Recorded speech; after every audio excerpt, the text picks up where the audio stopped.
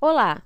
Vamos agora fazer um resumo da aula dos capítulos Redes de computadores e tipos de redes, sintetizando alguns conceitos fundamentais para que possamos prosseguir nossos estudos a partir deste capítulo. Vamos lá? O que são redes? Nesta aula, nós vamos aprender que as redes são um meio para disponibilizar recursos importantes para as comunidades. Sem as redes, teríamos de continuar com práticas diárias há muito abolidas, como buscar água em fontes e manter geradores domésticos de energia, por exemplo. Sendo assim, vamos aproveitar ao máximo os recursos oferecidos pelas redes na área de informática.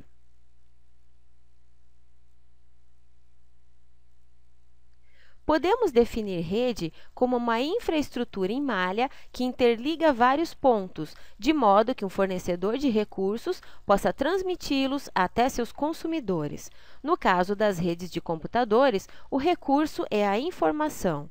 As redes possibilitam que este recurso, disponível em uma máquina, seja distribuído a outros computadores interligados e com permissão para acessá-lo.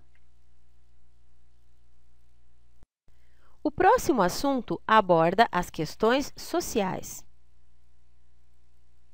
Muitas pessoas dizem que não saberiam mais viver sem internet por causa das facilidades e da economia de tempo que a rede proporciona. Hoje, não precisamos mais ir ao banco, por exemplo. Por meio da web, podemos conferir nossos extratos bancários e quitar contas. Sequer precisamos andar com dinheiro na carteira. Podemos pagar nossas compras com cartões magnéticos. A liberação do pagamento é feita pela rede da operadora de cartões, através da rede de telefonia ou da internet.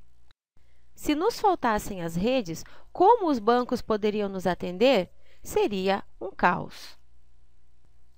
Porém, do mesmo modo que nos beneficia poderosamente, a rede mundial é eficiente para os mal intencionados e, portanto, pode também nos prejudicar. Como o acesso é livre, trafega pela internet todo tipo de informação com os mais variados fins e impactos.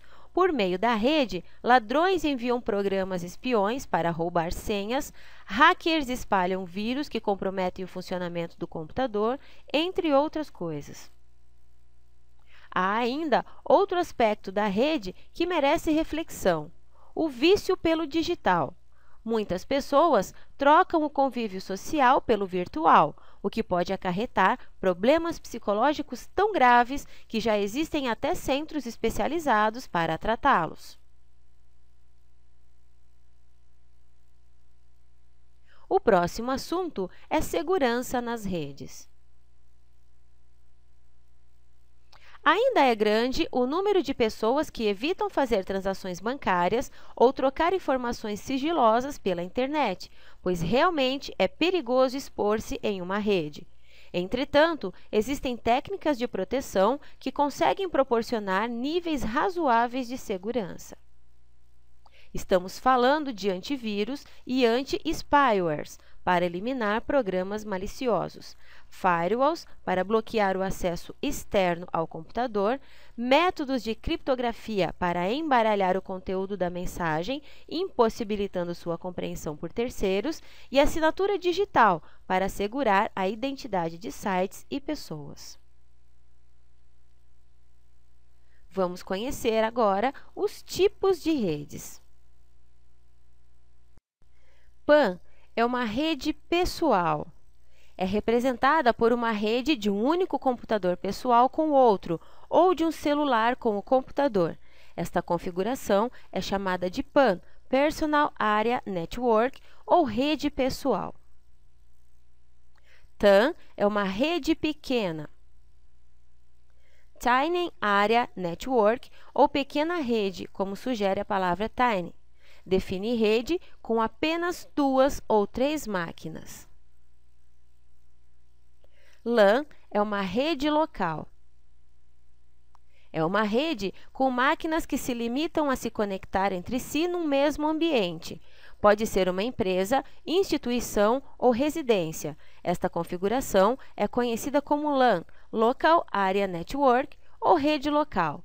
As LANs da figura podem ser de pequeno ou grande porte, dependendo da quantidade de computadores interligados.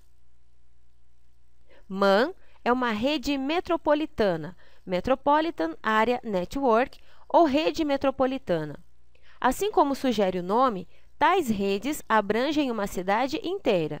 Pode-se tratar de uma central de telefonia, transmissão de internet via rádio ou cabo, transmissão de TV analógica ou digital, seja por meio de cabos ou microondas, entre outras possibilidades. As MAN podem se ligar a várias LAN que estiverem dentro do seu perímetro e os computadores dessas redes locais podem ter acesso aos de outras redes locais que estiverem conectados à mesma MAN. CAN, Campus Area Network.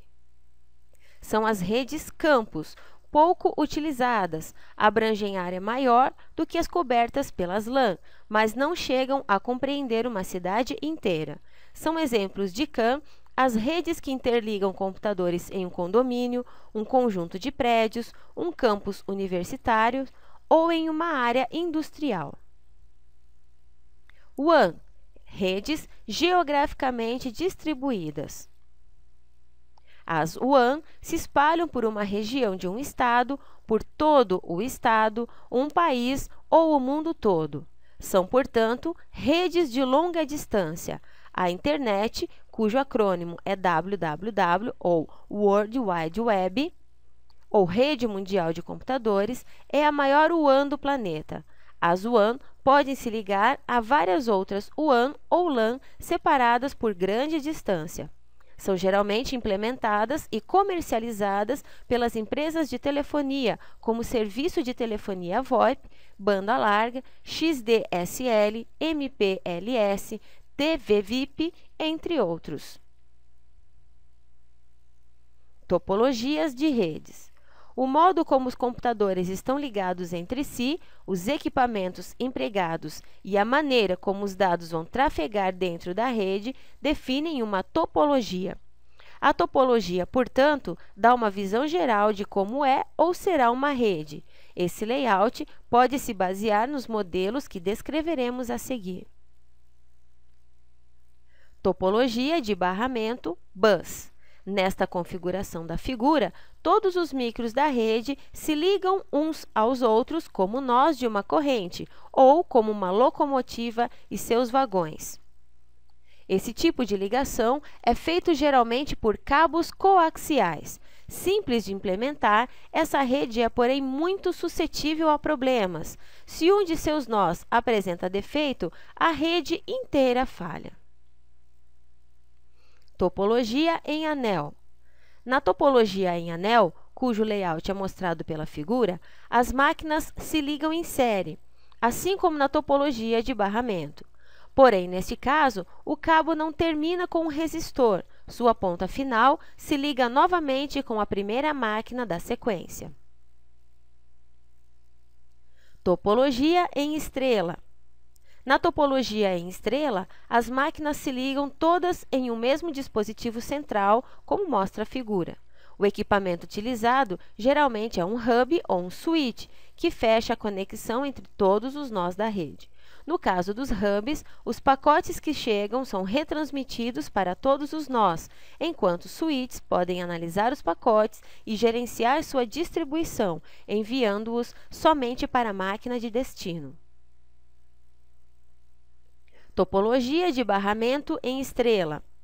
A figura apresenta a topologia de barramento em estrela, onde dois ou mais hubs que se conectam entre si por meio de uma conexão, cada um com sua própria rede em estrela, combinam as características das disposições em rede e em barramento.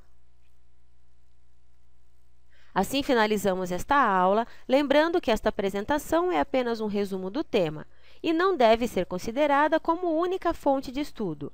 Por isso, participe de todas as atividades propostas. Um abraço e até a próxima!